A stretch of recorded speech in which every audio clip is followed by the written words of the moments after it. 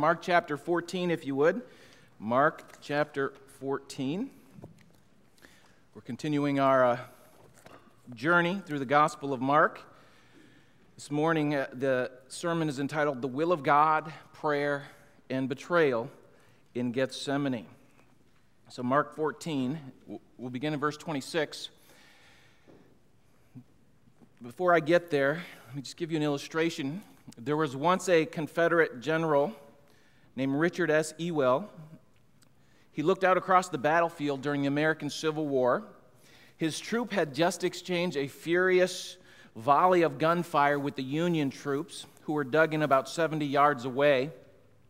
And as the smoke cleared during the brief lull in the shooting, Ewell saw a Union cavalry officer walking among the soldiers, boldly risking death to rally his troops. Ewell was so impressed by the enemy officer's bravery that he ordered the soldiers not to shoot at the man. After the battle, General Ewell was reprimanded by his commanding officer, General T.J. Stonewall Jackson. Why did you order your soldiers not to shoot the Union officer?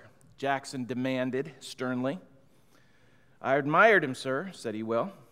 He was a brave officer. Look, if you want to win this war, Ewell, said Jackson, shoot the brave officers. Then the cowards will run away and take their men with them. Now, whether he realized it or not, Jackson was, was pronouncing a prophetic principle, a truth, which we'll read about in our text this morning. Strike the shepherd, and the sheep shall be scattered. In the drama of our text this morning, we're going to see that Jesus is perfectly in the will of God, that prayer is his greatest weapon, and that even in the betrayal in the Garden of Gethsemane, Scripture is being fulfilled. So I invite you to turn to Mark 14. We'll begin in verse 26. And remember in the context now, they have met in the, in the upper room at the Last Supper. Jesus has sent Judas off, knowing that Judas was going to betray him. They have left the upper room. They are going down to the Kidron Valley so that they may go towards the Garden of Gethsemane. They have sung the Hallel Psalms, Psalms of encouragement and Psalms of deliverance. And then Jesus brings them back to reality in verse 26. So let's enter in there. Mark 14, 26. And when they had sung a hymn, they went to the Mount of Olives. And Jesus said unto them, All ye shall be offended because of me this night, for it is written, I will smite the shepherd, and the sheep shall be scattered. But after that I am risen, I'll go before you into Galilee. But Peter said unto him, Although all shall be offended, yet will not I. And Jesus said unto him, Verily I say unto thee, that this day, even this night, before the cock crow twice, thou shalt deny me thrice. But he spake the more vehemently, If I should die with thee, I will not deny thee in any wise. And likewise also said they all. So we have here the will of God being pronounced in, in, in prophecy. God's will for Jesus is that he will be stricken. In fact, Jesus quotes Zechariah 13 7. If you were to go there, it says, Awake, sword, go, strike the shepherd. Even though human hatred and envy, through the plotting of Judas and the, the religious leaders, they acted out freely. They exercised human free will to strike the shepherd. But God would still override their decisions to accomplish his will. I don't understand it all, but this too was predetermined by God. And so, as Jesus and the eleven trooped down the outer stairway of the upper room and headed through the gloom towards the Garden of Gethsemane, he warns them. He quotes the prophet Zechariah, saying that essentially one and all of them will abandon him. He knew it, he understood it, he would forgive it, and God was still on the throne. He said they all would be offended. That is, they all would fall away, they all would be tripped up and abandon him. Yet he makes a commitment. He says, You know, in three days, I will uh, see you again in Galilee. Now, he makes an appointment. Okay, never before has a statement like this been made. It's, it's, it's quite humorous. You know, I'm going to be I'm going to go to Jerusalem. I'm going to get killed. I'll be put on trial. And uh, after I die, I'll see you in three days up in Galilee, hometown, right? Hometown region. Death was a small matter in that sense. It wasn't going to hold him back from making an appointment to see them and meet with them again. They would forget, but he wouldn't. Such a promise like this was never made in the face of the world where a dead man would keep an appointment with his friends after being dead for three days. Though the sheep would forsake the shepherd, the shepherd would find his sheep. Jesus had already taught that the good shepherd would lay down his life for the sheep, and that was beginning now.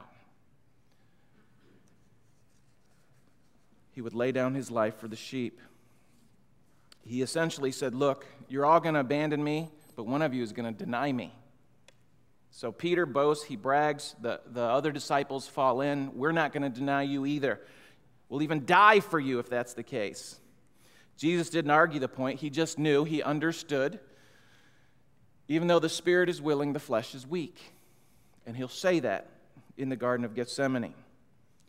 In fact, he knew so intimately what would happen that he even told Peter specifically, You'll deny me. Before the cock crows twice, you'll deny me three times this night. But again, Peter's not impressed. You know, he's, he's very confident in the flesh, as they all were. And he makes the, the, the bold statement though I should die, I will never deny you. And we'll see that he does. And a principle that we can glean from this is this that we understand our own human sinfulness and weakness we should understand that it is moment by moment dependence on God that helps us to do His will. Anytime we stand in the strength of our own flesh, we are sure to fail. And even worse, to succeed if we do. As the scripture says, let him that thinks that he stands take heed lest he fall. So let's move down now to the prayers of Jesus in verse 32 of Mark 14. And they came to a place which was named Gethsemane. And he said to his disciples, Sit ye here while I shall pray. And he taketh with him Peter, James, and John, and began to be sore amazed and to be very heavy, and said unto them, My soul is exceeding sorrowful unto death. Tarry ye here and watch. And he went forward a little and fell on the ground and prayed that if it were possible, the hour might pass from him.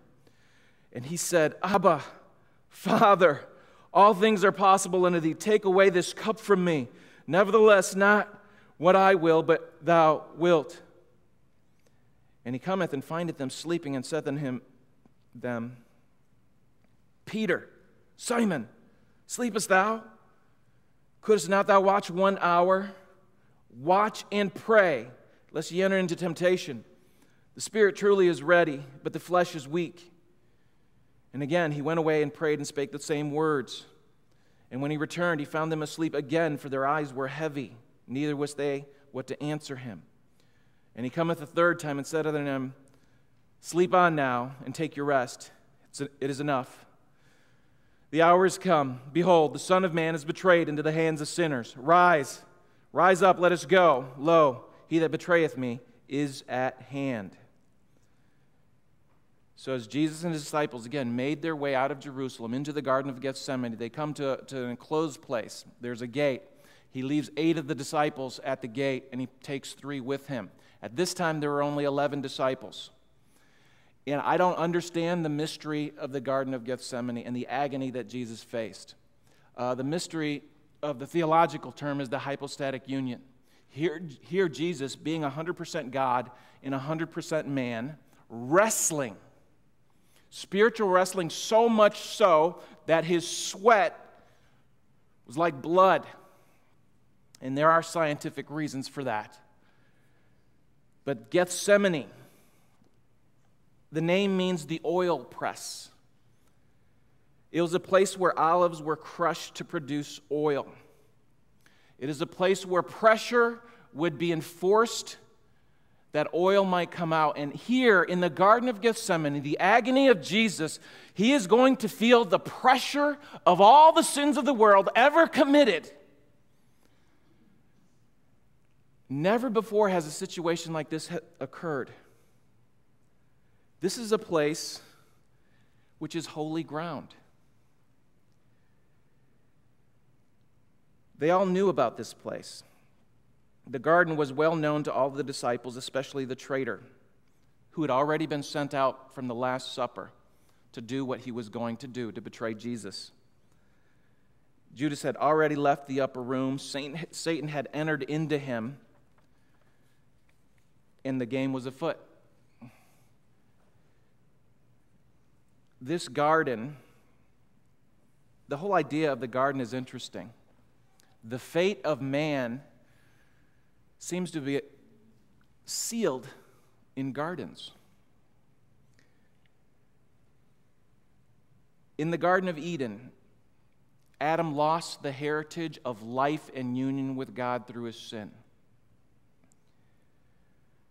But now, in the Garden of Gethsemane, Jesus would reverse that as he is willing to pay for that price.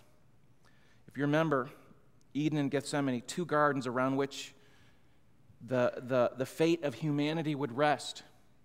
And if you would compare the two, in Eden, Adam sinned. In Gethsemane, Jesus obeyed. In Eden, Adam sinned and hid himself from God. In Gethsemane, Jesus sought to seek the face of God. In Eden, God sought out Adam in his rebellion. In Gethsemane, Jesus, Paul would refer to Jesus as the second Adam, the new Adam.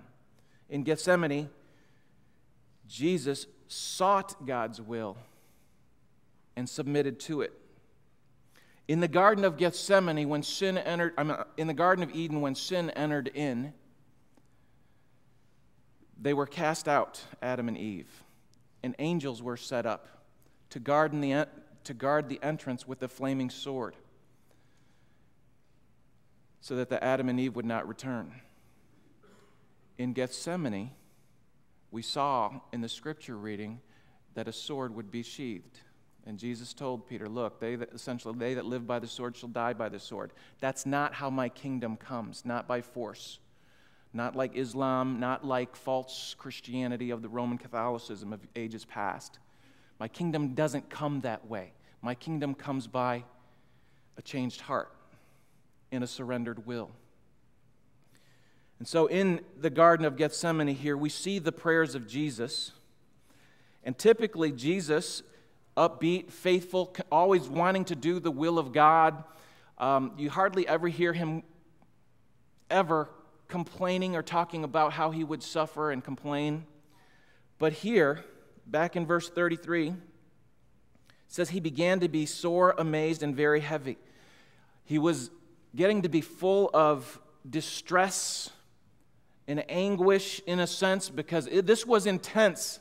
He knew what was going to face him. The shadow of the cross has now poured out on his soul.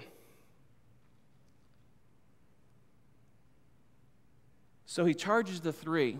You know, he leaves the eight at the gate and he charges the three come. Come with me. Tarry here, watch. He wasn't asking much. He was just, you know, the human side of Jesus. He longed for the comfort knowing at least he'll have three, four, five, eight, eleven guys, friends who could watch with him as he faced the struggle, the suffering, Remember when he began the ministry, thousands, tens of thousands were cheering. At this point in time, he would have three that are close. At this point in time, one of the 12 that was close has now become a traitor. And he tells the three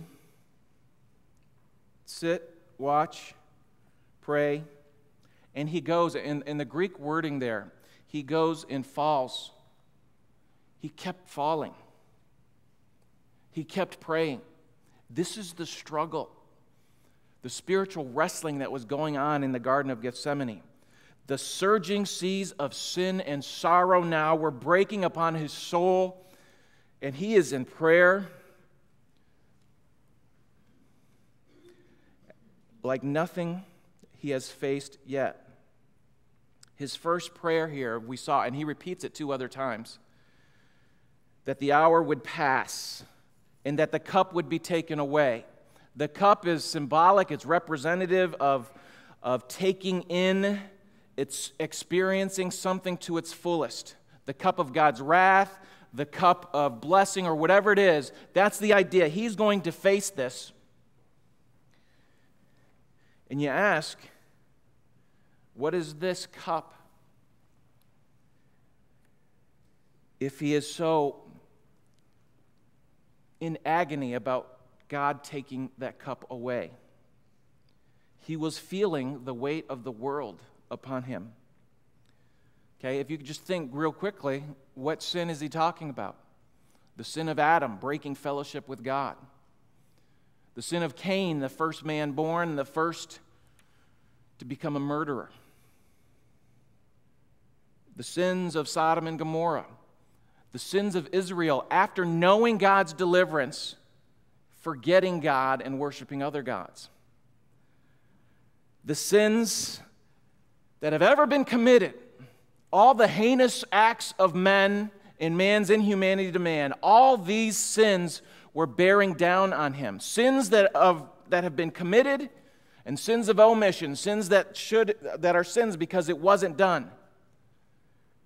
Sin's too terrible to mention. Sin, sin, sin. That was the cup that he was about to drink. The sins of the world in which God would exercise his wrath.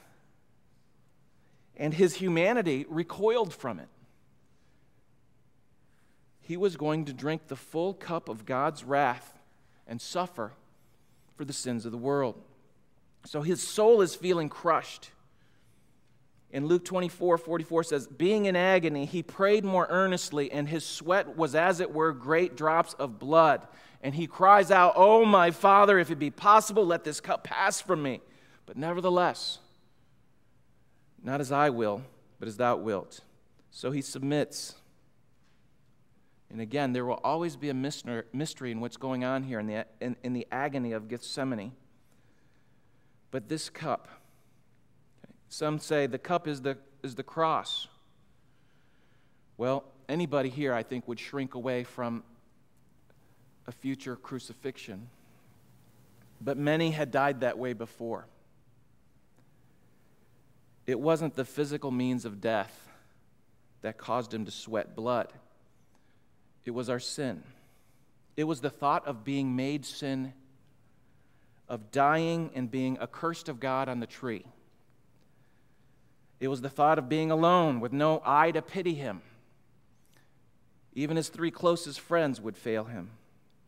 2 Corinthians 5:21 says, "For he, that's God the Father, would make him, Jesus Christ, to be sin for us who knew no sin." Jesus was facing suffering for the sins of the world in that cup. So we saw he went away to pray, a stone's cast, as I think Luke would say.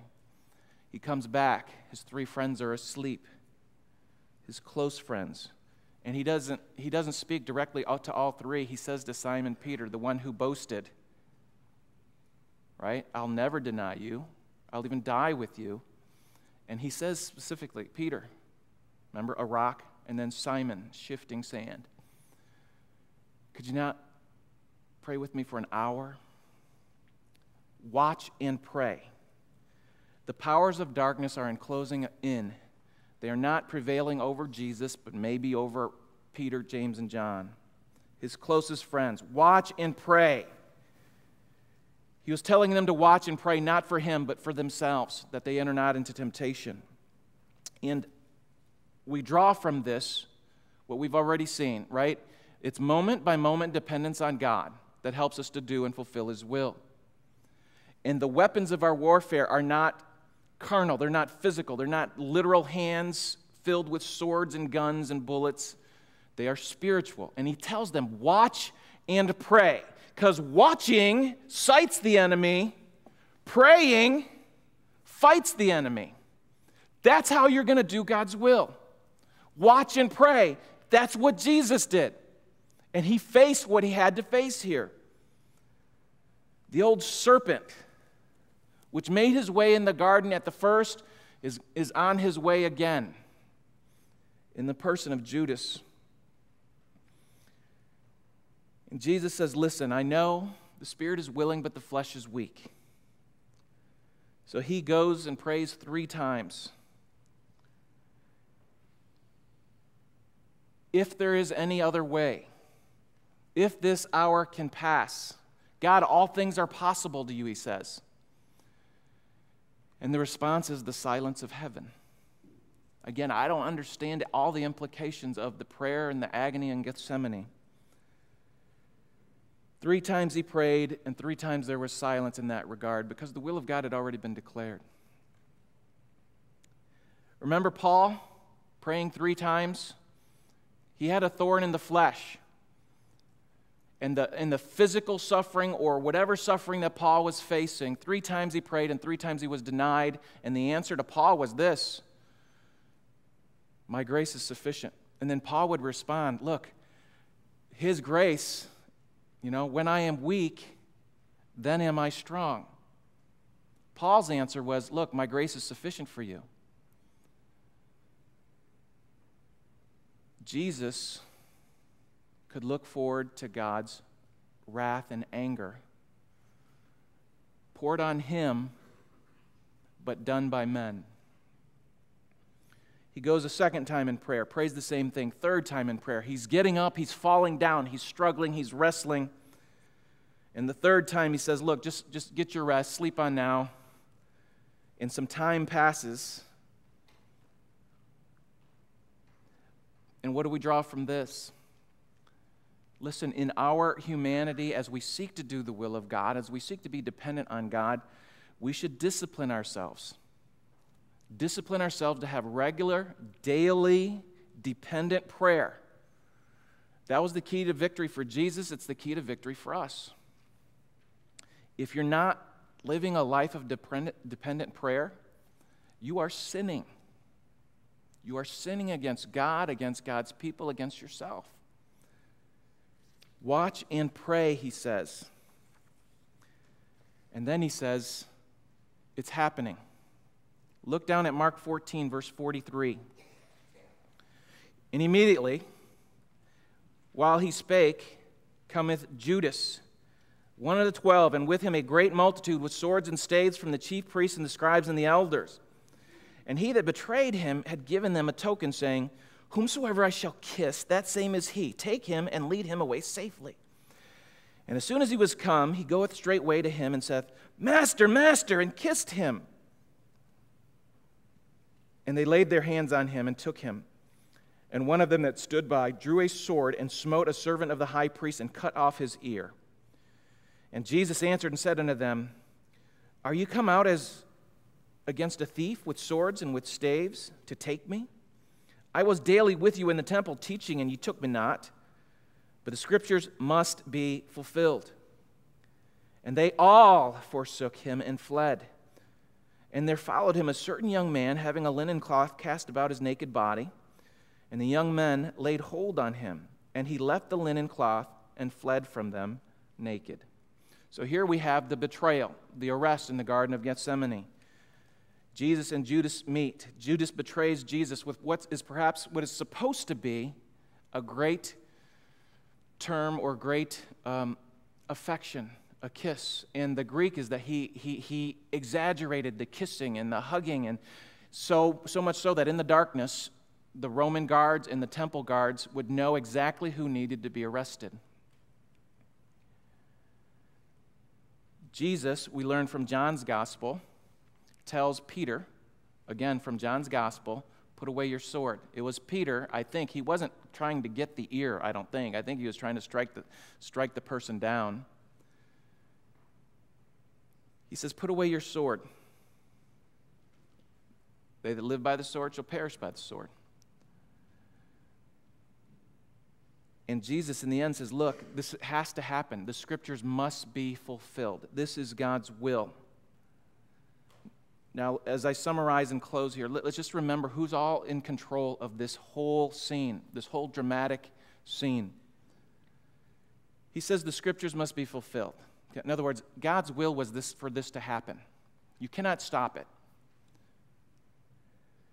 And this is, again, against the background of the betrayal. If you study the last week of Jesus, you will see that the, the Passion Week, you'll see that all the events very, um, very coordinated precisely to the detail. Okay? There's a donkey, go get the donkey. I'm going to ride the donkey. The donkey's never been ridden before. There's an upper room. You'll see a man with a pitcher on his head. Follow him. I've arranged for it. The scribes, Pharisees, religious leaders, we're going to kill Jesus. It's just a matter of when. And then Judas gets this idea I'm going to betray him for 30 pieces of silver. They're at the Last Supper, and Jesus, is, Jesus has already taught them about servanthood, washing of the disciples' feet. And he says, and, you know, he drops the bomb. Boom, one of you is going to betray me. And they ask, Is it I? Is it I? Is it I? And then one of them leans to him and says, Who is it? And then Jesus says, It's the one who I'm going to give this sop and dip my bread with. And then I can imagine the eye to eye contact Judas and Jesus, and Jesus says to him, What you do, do quickly. Now, from Judas's point of view, he's got a fish or cut bait. The cat's out of the bag. It's him. And Jesus is under, under control of the whole situation. The religious establishment did not want to kill Jesus during the feast day. Jesus forces their hand and tells Judas to go, and he gets killed on the greatest or the highest of the feast days. Jesus is ultimately in control even of his betrayal in the Garden of Gethsemane. And he states it very clearly the scriptures must be fulfilled. So, who's giving the orders? Who's in control? Jesus. Who's in command? Jesus. He's in control of his own arrest and even trial he knew he was fulfilling eternal destiny. The scriptures must be fulfilled. So the crucifixion is not an accident. The crucifixion was the fulfillment of his mission. That's what he was praying in the Garden of Gethsemane. He knew he was going to do God's will. And so he's abandoned. He's forsaken by the eleven. And then there's an interesting note here at the last part of the text in verse 51 and 52. There's a young man that's following. There's no reason why that text is in there except for this.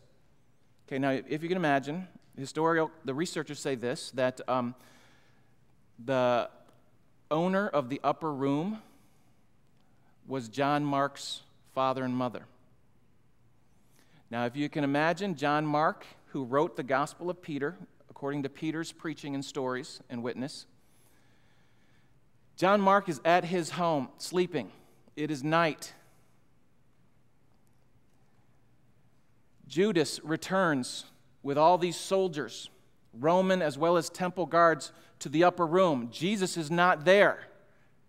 John Mark hears all the commotion and he starts following this mob of army and military and, and religious guards. He follows them all the way to the Garden of Gethsemane, which researchers believe was owned by Mark's father as well. So I think John Mark puts a little self portrait into the story. It's him. It was he also that followed, and he also that would abandon Jesus.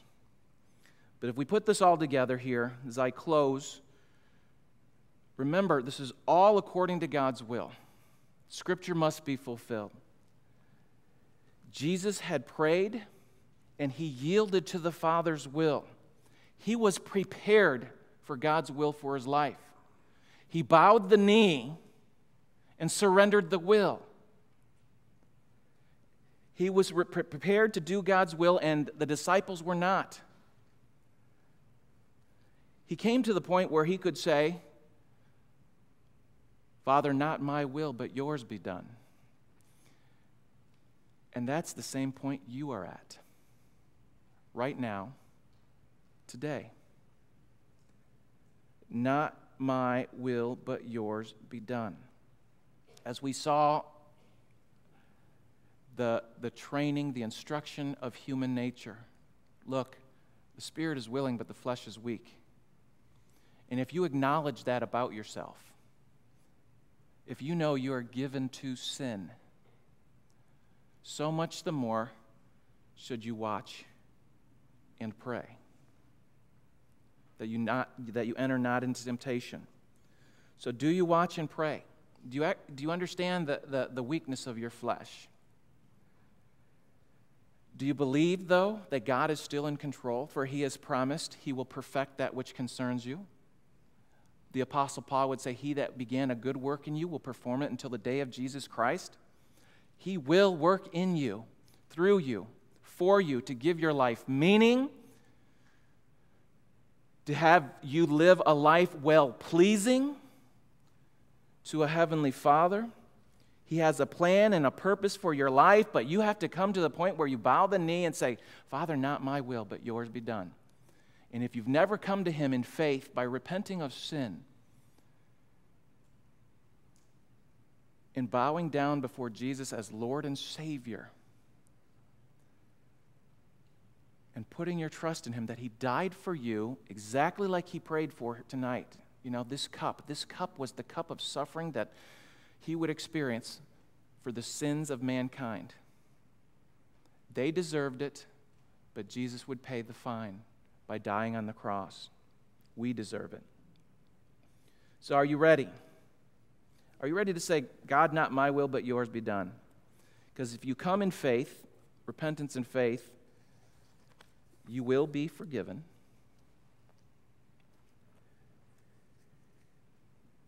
You will be changed. And He'll make your life meaningful forever. Let's pray. Heavenly Father, I do thank you for your love and your grace. May we be as Jesus was, praying, yielding not our wills, but yours be done. I'm speaking to you now, the audience, or anybody within the sound of my voice. If you're here today and you do not know the relief of forgiveness of sins, if you're here today and you do not know the promise and assurance of heaven, you can know. You can be forgiven. By repentance, that is a change of mind and heart, a turning from sin, and by faith, a trust, a commitment of life to Jesus Christ, believing that He died for you and that He rose again.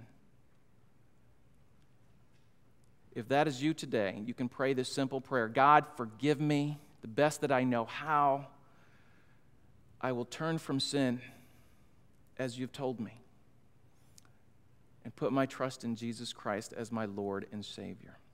If that is you today, you can confess that sin. Put your trust in Jesus Christ, and the Bible says, Whosoever shall call upon the name of the Lord shall be saved. If that is you today, and if you've prayed that prayer, raise your hand and say, Pastor, that was me. Please help me. Now, to the rest, the second invitation is this whatever it is in your life, if it's sin, if it's pride, if it's self dependence, you can repent of that and receive forgiveness and the grace to overcome as you exercise the discipline of watchfulness and of prayer.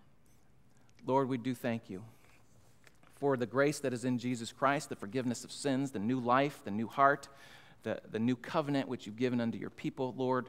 Help us as we seek to do your will to live out a life that is well pleasing to you in your power, with your grace, for your glory. For we pray this in Jesus' name. And all of God's people say, Amen. All right, if you please stand, Brother Steve is going to come and lead us in the doxology.